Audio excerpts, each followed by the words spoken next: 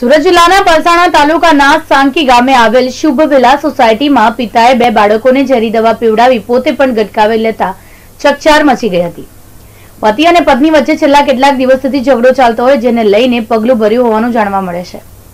ત્રણે જણાને સારવાર માટે સુરત ખાતે હોસ્પિટલમાં ખસેડવામાં આવ્યા છે.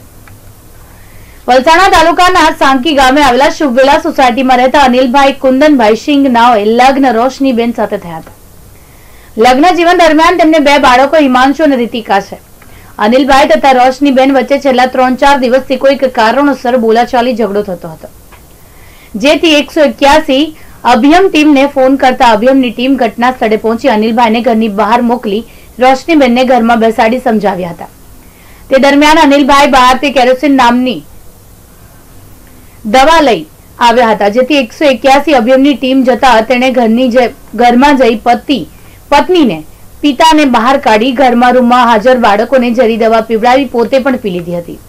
ઘટનાની જાણ થતાં જ આ ત્રણેયને પ્રથમ સારવાર માટે સંજીવની હોસ્પિટલમાં લઈ જવામાં આવ્યા હતા. જોકે તેમની તબિયત સારી ન હોવાથી તેમને વધુ સારવાર માટે સુરત નવી સિવિલ હોસ્પિટલમાં ખસેડવામાં આવ્યા હોવાનું જાણવા મળે છે. કાલે આવી